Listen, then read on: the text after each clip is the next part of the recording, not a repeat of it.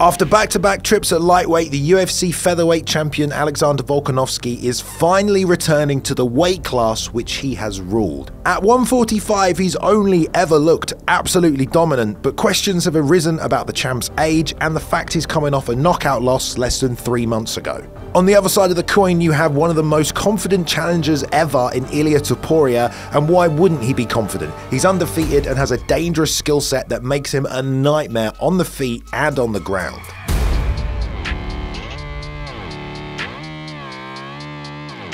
It's made for a really interesting main event for 298 with two guys at the absolute top of their game. Before it goes down though, we're going to take a look at both these fighters and their styles and break down how they match up. So in today's video, we are going to look at the footwork and movement of Topuria, Volk's stand-up toolkit, what makes Ilia's striking dangerous, the overwhelming speed of Volkanovski, and how these two match up on the ground. It's UFC 298, so let's break it down.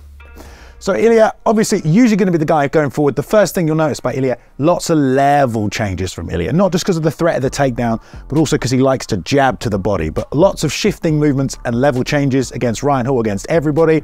It's a, it's a difference of rhythm, fakes the takedown, but also, we'll see in a minute, it helps sets up his boxing combinations. Not just that, he's got a real boxing plant style as well, quite heavy on the lead foot, but when he can bounce in, he can bounce out and reset. So Ilia likes to skip forward and he'll be able to bounce backwards and forwards as he skips, but sometimes he'll skip and plant in front of you and then just ready to rip combinations. But when he is advancing forward, he has a very boxing style and he's always taking his head off the center line. And it's usually the opposite, left, right, left, right. And as he goes, he'll show you the uppercuts, he'll flash the jab. So there's a lot of side to side head movement, very much a boxing style. And he, he's happy to, he's so confident in his head movement, he's happy to put himself right in front of you, wait for the shots, slip, and then explode off of it. Let's just take a look right here against Jai Herbert. This forward moving style slips to the outside, just this constant shift backwards and forwards, level changing, and it helps him get out of danger. He's got great guys and great head movement. Same thing again here, just the side to side movement, all of the level changes come in to blend it all together. Again, just lovely head movement here, not entering the pocket until he feels comfortable, but he can slip and at a moment's notice explode forward with those jabs. As well as that, we've also got the back step from Ilia, which is a very common boxing technique. It's just a, just a back step, just to drift away, just to create space. And you'll see him back step over and over again against Josh Emmett, just constantly just giving a little ground. And when he pressures you to the cage, gives him so much more space to backstep into as well. And this is the story of the fight. You know, he can just time the backstep and then look for his counters as well. And against a guy like Emmett, who was just boxing, there's no weapons on the outside for him to worry about. So he can pressure to boxing range, step back when he's not comfortable, pressure to boxing range, and he can clear that distance because a guy like Josh Emmett's not throwing kicks at the end of combinations. There's no long range weapons to worry about. Again, here, beautiful backstep, right hand straight to the temple, great accuracy, and also follows up with combinations, which we'll talk about in a minute with Ilia Topuria as well. And again, we'll just take another look here. Lovely little jab in. He also has this shoulder roll that he uses as well. So as he pulls out from shots, he'll turn away and cover with the shoulder. It's the Philly shell style. You know, when the right hand comes, you roll away from the right hand. Now, obviously, you know, you, people don't want to drop that lead hand, but if you can do it the way that Ilia Topuria does it and Sean Strickland does it, it makes it look beautiful. Time and time again, Josh Emmett's trying to bang this right hand and Ilia's just pulling it, just shoulder rolling away from it. So clean. Here's another great one right here. Look at this right hand. Whoop! Perfect. Perfect roll away from it. And the guy like Josh Emmett's only throwing one punch at a time. That's why they call him the Matador right there. Bringing it on, whew, takes the angle, the ball goes that way and he's back round ready to reset. So Ilia Topuria, lots of forward pressure, lots of skipping, ready to plant, great head movement, and also a great back step as well. It all revolves around boxing though, mainly for Ilia, and that's his main offensive weapon on the feet. So we talked about these level changes, and they will also start to throw these jabs to the body off these level changes, okay? Now, most of you know Ilia Topuria, the jab goes to the body, because he's gonna eventually bring this right hand over the top. So a jab to the body, and then a right hand over the top. But of course he wants to jab to the body, bring your hands down, bring your eye line down, and then open up the targets over the top. And we see that time and time again with Ilia. Again here, jabs advances into the body, big right hand offsets him right here. So that's Ilia Topuria. In terms of his, uh, you know, his advancement, his defensive footwork, we're going to look at his offensive output, his combinations in a second. But let's just jump over to Volkanovski really quickly. Volkanovski, we've broken him down before, but we're going to take a look at something a bit different today. Two of his best weapons that we don't really talk about, and that's his lead hand and his lead leg. Okay, now I'm a southpaw, but uh, so I might demonstrate from this side. But his lead hand and his lead leg, so important. They're his feelers, they're his initiation for combinations, they're his distance closes, and they're also his outside weapons as well. I totally ripped, totally ripped my jeans, yeah. that just split right there, it's fine. So I'm going the right leg will be okay. And also his outside weapons as well. Let's have a look what we mean with the lead left hand and lead leg. So right here against Jose Aldo, a guy who's similar to Ilia and that he's going to walk forward in a boxing stance and try and time you as you step in. All of these fakes from Alex, all of this lead hand, this up-down movement, the pirouettes, hands constantly come up and down. And also something else Alex has, that lead leg, inside leg kicks. Beautiful range finding weapon and these right angles that Alex takes as well. He doesn't just drift sideways, and march sideways and step. He takes big steps and takes big, big angles. So if you're right in front and you're trying to line something up, and suddenly the guy's over here, well, I've got to turn. And now he's over here, well, I've got to turn. And if you can never settle, and Alex never stands in front of you, he's incredibly hard to hit. So a guy like Ilia who wants to see where you are and be able to come forward down the middle, if Alex is going to keep taking these big steps to the side and creating these big angles, it's going to be really tough for Ilia. Again, inside leg kick right here, brings up the leg, just showing it to him.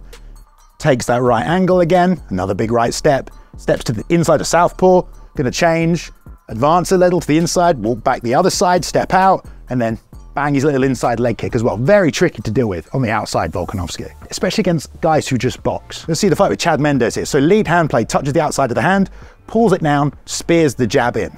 Beautiful work with the lead hand. Lead hand to the body, jab right down the middle. Same thing again here left hand, touch the outside of the hand, come in. So he's not always trying to duel the jab down the middle.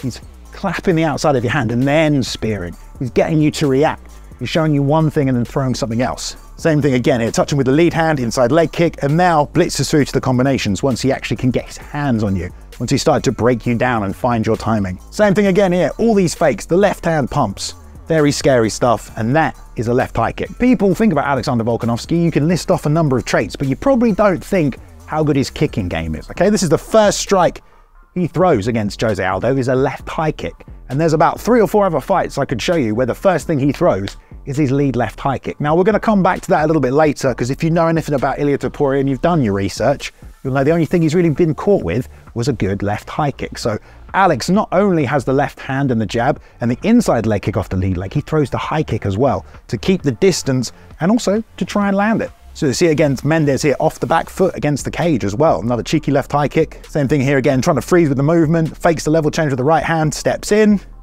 and boom, brings up another little left high kick. And he's not afraid to throw these weapons because he's so good on the ground, of course, as well. But I just wanted to highlight a little bit because it is something that people are probably going to look for, especially if Alex has seen it work against Ilia before. You can pick the leg up as well, and just by picking it up, you're offering so many different options. You're giving your opponents questions. By just lifting this lead up, it could be anything. It could be him stepping in for a jab. It could be the high kick. It could go inside. It's all off that lead leg. And so he's just twitching and moving the front half of his body. Yes, he comes forward with that back right hand, but it's angles, it's the steps, it's the lead hand. And against a guy like Ilia Topuria, who's going to stand and box, the best thing Ilia does is counter the backhand, is step back when this right hand comes through. He doesn't often counter jabs and, and things off the lead side, so as much lead stuff Volk can throw at Ilia, he's going to have to get him to react. When he normally wouldn't react, he would be waiting for the bigger shots to backhand. Going to have to react off the lead handwork and off the jab. So let's go back to Ilia Topuria, okay? Because one thing you probably noticed about Ilia is he's very good at stringing together combinations. He doesn't stop after just one or two, or sometimes even three. He'll go for a fourth shot. And not just that, he's really good at initiating offense, waiting for the counter, and then re-countering after they've thrown back, which is not something a lot of guys do. Kind of hard to explain, but I'm going to show you what I mean.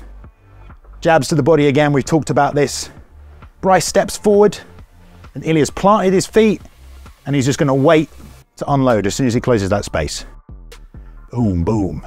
So this goes back to uh, the, the talk about the skipping movement from Ilia and that he might be advancing, but any moment he's ready to just plant and just wait, just will for you to come close enough so he can brawl. And if you don't, then he'll get back to the bounce and everything else. Against Damon Jackson right here, level change brings the right hand up, right uppercut, left hand, right hand, and then finishes with the left hook to the body as well.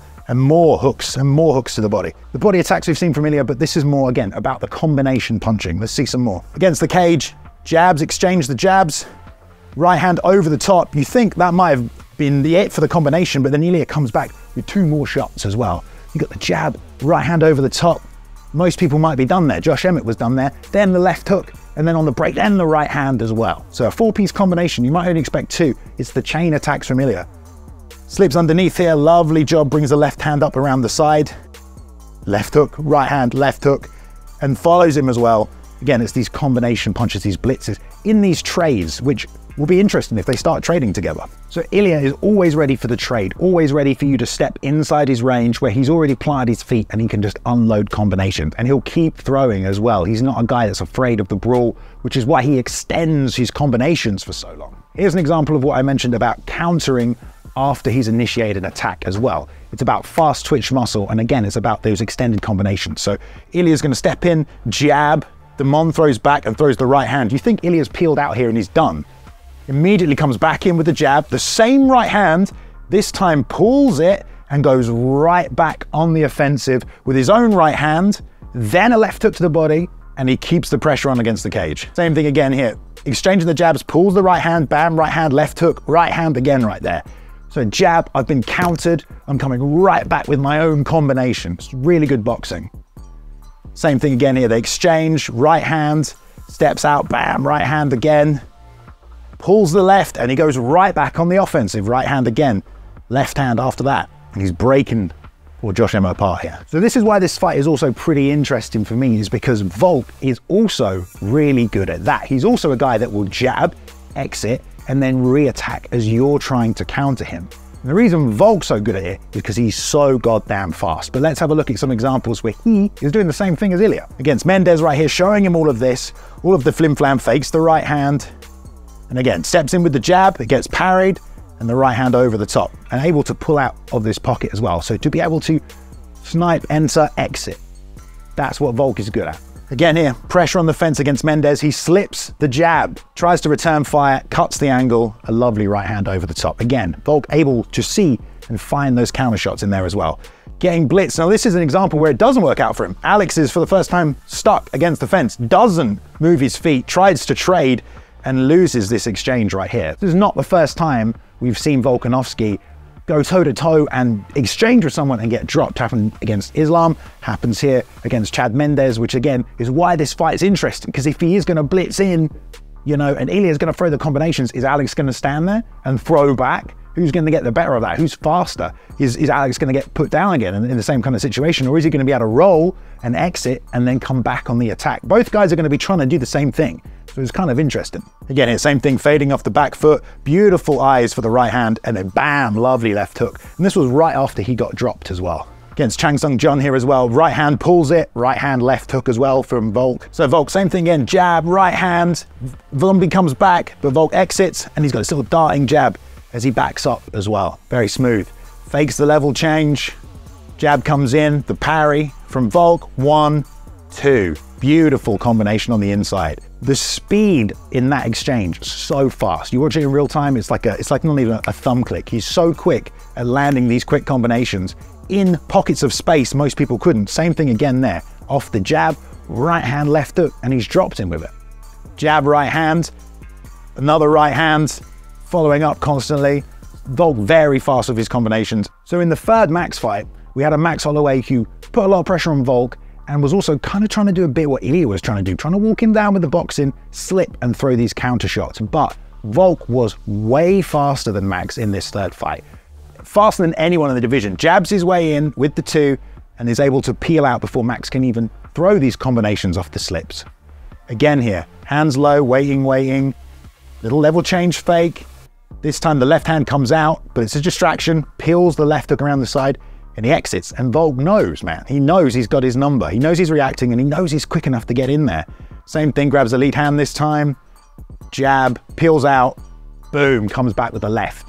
Beautiful stuff. So quick. And again, it's about exiting and then coming back in. So again here, Volk steps in, right hand. Max tries to counter, comes with a left hook. Volk level changes, puts a right hand over the top as well. This time he's going to reach.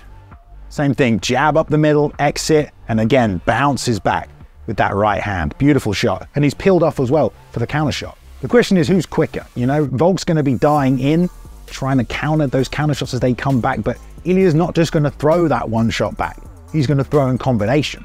So it creates a whole lot of crazy scenarios. What if Volk steps in, Ilia throws two punches, Volk comes back, steps back into counter again, but Ilia is still going, you know, and Ilia's a different opponent from all these guys Volk's fought who are only going to throw one or two shots back. If Ilia starts putting four or five combinations together, that's how we can catch him. Even if Volk turns up faster on the night, if Ilia can extend his combinations in a safe way, he can tag the faster guy because he's already out and reset. And Ilia is very good at doing that. We talked a bit about the game plan for Max in this one, but he's also kind of doing what Ilia is trying to do plant his feet, slip and move. And here's a great example how the accuracy and the speed of Volk again wins through in a situation where Max is trying to move, slips some nice punches, but Volk goes back in, tags two on the chin, even when his head's moving, you know? And Volk's feeling himself in this fight because he feels so much faster than him. Again, a two piece combination, an uppercut, a left hook, and he's gone again. Just firing faster, he's in, he's out, and Max cannot hit him. Same thing here, really. Steps in, Max tries to counter, and Volk's back out. And again, bam, now the right hand. That was a double. You know, he stepped in, Max counted, stepped in, Max counted, and then he lands the right hand. So all of this pressure from Ilia is to do one thing, mean, you've seen it in his fights. He wants you against the fence because then you can't go backwards. And he can throw as many punches as he wants. And he's finished a bunch of guys like this. So Damon Jackson steps in here, fakes jab, rear uppercut, now this bangs off the chin of Damon straight into the left hook to the body, which bends him over and then just a one-two over the top. The speed of his punches, he is so strong and he hits so hard from short distances. Same thing again here against Jai. Goes, level changes low with the jab and it's over the top. Just misses the right hand. Oh, Craig, normal person would be done, but Ilia comes back with a lead hook and then another right hand there.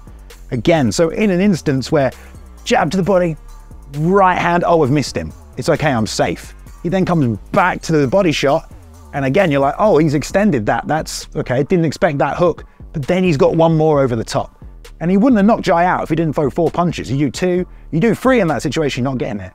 I know for some people who maybe don't watch a ton of MMA or whatever, you feel like four punches in a row isn't a lot. I'm telling you, a four punch combination isn't something that everyone throws. It's scary extending your punches. The more you throw, the better the chance of getting hit. The fact Ilia can do it and be so successful and effective with it is one of the things that makes him really unique and really good. Against Bryce here as well, we see this head movement, this cobra-like movement here, slips, bam, uppercut, left hook, and then a right hand as well, drops him, just so smooth, and then uncoils himself when he needs to. Again, Ilia, how's the ground game going to factor into it? We don't know, but we know Topuria is very good with his takedowns. Right here, he's in a body lock position against the cage, got the over-under, is able to reverse position and using momentum as well drives his left shoulder to the fence, steps across with the right leg, and then just rotates the hips away on the underhook side to get a beautiful suplex right here. Tons of power, and Topuria loves the ground. He's phenomenal there. We've talked nothing about his striking, but his submission ability is insane. Snaps down with a front headlock, still holding on to it, but now in a different position, rides through, and takes it, you know, into a finishing spot right here where he's using the knee to pull the the uh, the elbow down to get the arm across the neck, still chasing the neck as he now takes top position as he's still tacking the same neck, now using it to flatten the guy out for about 30 seconds of the same submission now changes into a guillotine. Zalal does a great job getting out of it, but now he turns it into a mounted guillotine and he's going to just continually chain these submissions as we go from position to position. Back to a D'Arce choke. This is the same sequence of submission attempts. We're now on about the fourth different one, and he rides it through from every single position right here. He's just, you know, a guy that chains combinations and changes submissions together as well. Bryce Mitchell right here, great stuff. And again, beautiful pancake as DC calls it. You can see the strength in the grappling of Ilia just to ragdoll his man. Even here on the, the arm triangle, drags him to the mat. You know, we know Bryce was a bit sick maybe for this one, as he said, but even so, you talk about the physicality when it comes to the grappling. Ilia is a very strong guy, maybe as strong as Volk, we don't know, because Volk is also the same, and Volk also has this in his arsenal. Plenty of times in fights when he felt like it's not a good exchange or he wants to, he'll just drive you to the fence and just hold you there. You know, nice start, step in. Oh, okay, cool. Boom. We're going to clinch. And he'll work from here. He'll get takedowns from here. He'll drain your gas tank from here. Does it to everybody, even against Zombie here, who initiates. He's got the ability to turn. Don't forget, he's also a Greco Roman guy, Volkanovski. And I wouldn't be surprised if this is part of the game plan. Something Brad Pickett asked me when I asked him about this fight is okay, the question is, how good are both guys off their back? Because we know Volkanovski is super good at getting up from takedowns. He's, he's not been taken down a lot. You've got the one example with Islam when he controlled him on his back. But when have you ever seen Volk flat on his back? We haven't really, is the answer. We've seen people on his back, but actually both shoulders pinned to the mat. We have never seen it pretty much. Whenever he does get taken down, it's a matter of time. Butt scoop, push on the head, easy peasy. Gonna clear this left leg past the knee. As soon as that's out, easy peasy, build the base with the right leg and he's back to the feet. He is so good at getting up. So if Ilia does want to commit to these takedowns, can he hold Volk down? I don't know. I, I, don't think so personally, but we've seen crazier stuff happen. Same situation here again. Lovely takedown from Chad. Keeps this foot in play. Now, obviously he's given up side control from that and Chad eventually rotates and comes to the back. This is a bad spot for Alex. Again, this, this back control position, but Chad's gonna give up a hook because he wants to take mount and Volk just beats him here with the left hand frames and that is some serious good core strength right there to hip up and beat the man at the same time. So again, physically, they're very similar when it comes to grappling. Ilia's got the submission attempts, Volk's got great submission defense. Ilia's got good takedowns, Volk gets back to the feet. I have no idea how the grappling is going to go, but it's worth talking about briefly. One thing we know, Ilia, the biggest shot he's ever been hit with is that lead head kick from Jai Herbert. That's why I pointed out Volk and his head kicks earlier on, but let's just take a look at it, just for those who haven't seen it. Jai throws a straight right right here. Ilia trades with the right hand, and look at this on a dime. Bam! Beautiful left head kick off the straight right. Sends him flying to the canvas. Just something to think about. You know, Volkanovski loves that left head kick. Maybe we'll see something similar, I don't know, but either way, a kicking game is going to be really important when dealing with the boxing of Ilia. We've talked about that with the lead leg on the inside to the body and also to the head. Another thing with this back step from Ilia, when he does drift backwards, he keeps this lead hand down sometimes. And long guys like Jai were able to connect as he's exiting these pockets and these positions right here. Nice head movement slips. You know, this is the good Cobra-like head movement, but beautiful timing on the knee right here from Jai Herbert as well. So there are holes in these defensive tendencies that, that Ilia has chosen to use. And I'm not going to tell him to change anything, I'm just trying to point them out for you. Again, the right hand, when he's doing this back step, you know, it's there available over the top. This is the only takedown he's ever given, doing this head movement, but he plants too heavy on the lead leg. Bryce level changes, grabs the single, and this is the first takedown he ever gives up. And it's a pretty good takedown for Bryce Mitchell. We have seen Topuria flat on his back in the UFC. And how did he get on? Not great, really, because this is a minute, and then a minute later, he's still on his back. So Bryce Mitchell gets one takedown and was able to hold Ilia Topuria down there. As good as the grappling credentials are of Ilia Topuria, the black belt that he is, Brad Pickett wants to know what happens when he gets put on his back. He wasn't able to do much. Kind of controlled the arms a little, no real submission threats, and he didn't get himself back up. And also, we can't forget, this has happened to Ilia as well. Third round against Zalal, he's super tired, man. He can he can barely keep his hands up in these exchanges. The, the head movement is a lot slower. He's not throwing back. He's taking these shots, and Youssef Zalal wasn't able to finish him. But this is a version of Topuria we have seen in a 15 minute fight. Right here, look. I mean, he's trying to shake it off, but he can, he can barely keep his hands up, you know. And Volk, he is engineered for 25 minutes. He has that down to a science. He fights at a 25 minute pace. Ilia doesn't really do that and will now have to adjust to that. I'm not saying he can't. He's, a, he's fighting for a world title. I'm sure he can, but it is just something else to think about going into the fight. So yeah, there's a lot of takeaways from that one really, guys. And I don't think I'm going to make a prediction for this one because, you know, at the same time, it's not really. It's up to you to make your own prediction. I'm just here to break everything down and you can take away from it what you will. I think both guys have got good advantages in different places. Ilia, I think, maybe hits a little harder, but does Volk have the speed advantage? He definitely did the last time we saw him at 145, but obviously all the X factors going into this. The short nose fight against Islam, coming off a knockout, getting older. These are all things people are talking about as part of the narrative of this fight. So we can look at the, the, the footage and the technique, but that's not the only thing to worry about in this one. But you guys let me know how you've got it. I want your predictions down in the chat. Anything I pointed out that you liked, anything you think I missed, let me know as well. And uh, you know, give us a like if you enjoyed the video. If you want to see more from us, you can hit subscribe as well. But uh, this has been the breakdown, and yeah, we'll be back with the next pay-per-view.